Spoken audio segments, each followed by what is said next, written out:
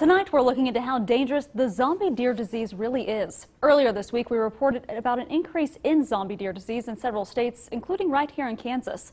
And KSNT News reporter Kelly Saberi is live in downtown Topeka. She spoke to a local expert to find out what this really means. Kelly?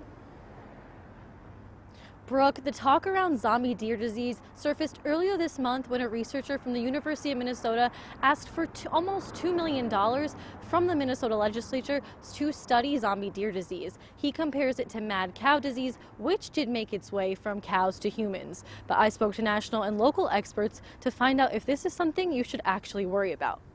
Chronic wasting disease was discovered in Colorado in the 1970s. Some also refer to it as zombie deer. Zombie defined is a corpse has been brought back to life. This month, the CDC warned people about the disease spreading. Travis Lowe is the executive director of the Elk Research Foundation. They study elk across North America. He says the disease is not even the biggest killer of deer. 216 cases of chronic wasting disease in the state in the last 20 years out of the 27,000 that have been tested. That's 0.008% of deer in the entire state of Kansas since 1996. The term zombie deer that's floating across the nation right now is engendering all these fearful images, which is really doing a gross exaggeration and misrepresentation of chronic wasting disease. The National Institute of Health says there is no evidence that CWD has made its way to humans. I went out with my dad and my uncles hunting ever since I could walk. John Reed is an avid hunter, and his kids are quickly learning from their dad. He's concerned about how this will influence the next generation of hunting. But how can we get them involved in, in an American pastime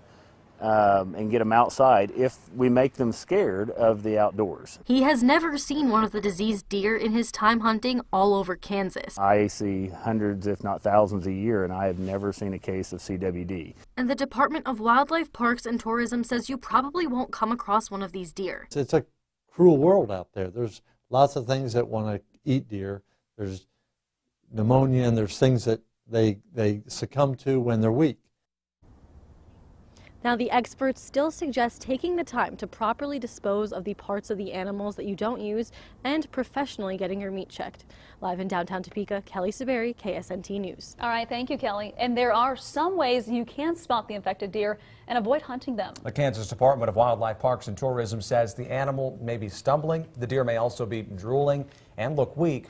Now, if you hunt deer and you'd like to get it tested just to be safe, you can send that sample to the K-State Diagnostic Laboratory.